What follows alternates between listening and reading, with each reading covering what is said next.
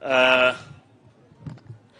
Mheshimiwa Naibu wa Rais, uh, viongozi wa kanisa la Katoliki Kimana, viongozi wenzangu, wabunge, wa MCS, viongozi wananchi wetu wa heshima, amjambo Enda subabawagi mwairoroginotosinda asholeng. Tutachukua muda mfupi sana kwa sababu tunaelekea uh, Loitoktok uh, kanisa la AIC. Kwa hivyo hatutachukua muda mrefu. Asante sana Mheshimiwa Naibu wa Rais kwa kukubali kwa heshima kuu uh, kuja kusaidia wananchi wa Kimana kanisa la Katoliki na pamoja na wale tutaenda saa hii kutoka Loitoktok AIC. Mimi nilifikisha ujumbe ambaye nilipewa na hawa viongozi wa hii kanisa na ilikuwa muda mfupi sana. Tulikuja ibada hapa, tulipomaliza ibada nikapewa hiyo ujumbe nikakufikishia, na ukaweka tarehe hii siku ya leo, na hata haijasonga hata siku moja. Mungu akubariki sana Mheshimiwa Naibu wa Rais. Uh, ili nisiende sana kwa sababu najua nilikuwa nampatia Mheshimiwa Naibu wa Rais historia ya kwamba uh, around 2014 kama sijakosea uh, hii kanisa ama hii eneo ilipewa mayolo rana ile katoliki kake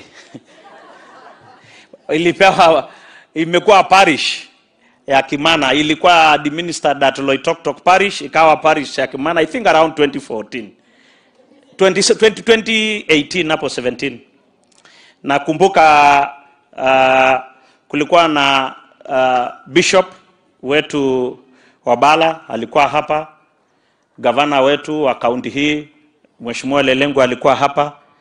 Mheshimiwa rais wetu aliakilishwa na aliyekuwa waziri wakati huo wa mambo ya afya eh, Mailu, na kuanzia siku hiyo tukaambiwa sasa kuwa parish inafaa ijengwe iwe na headquarter kubwa sana.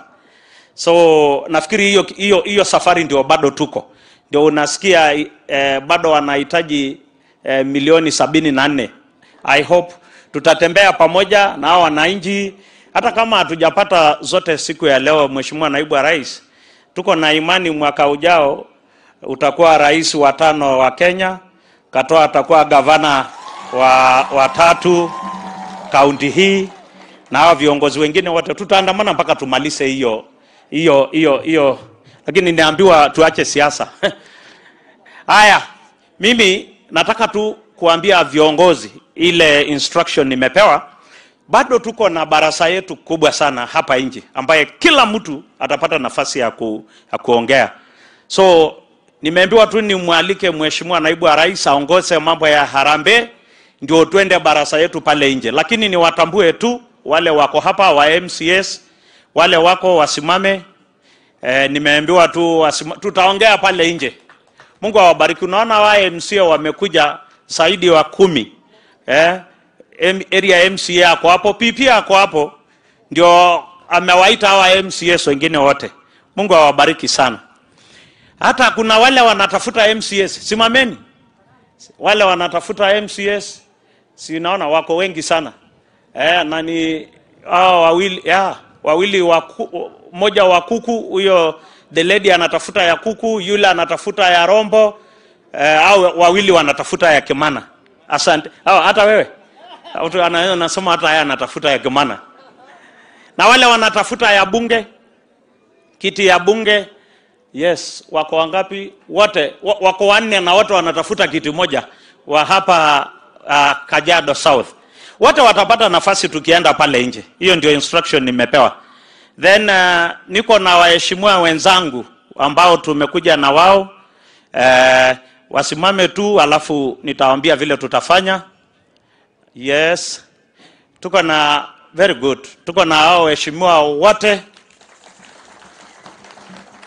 lakini nitaomba tu, wacha nipatie mmoja asalimie nyinyi, kwa sababu Katoa amesema anatafuta kiti ya ugavana, hata Peris anatafuta hiyo kiti, ili asiseme mimi nilinyuma ya ongee hapa kwangu. Kwa niaba ya nyinyi wote, wacha mheshimiwa Peris aseme tu jambo. Karibu mheshimiwa. Eh, alafu ndio tupatie mheshimiwa naibu wa rais aongeze kipindi ya, ya, ya aongeze kuja aongeze kipindi ya harambee. Eh, It's okay. It's okay.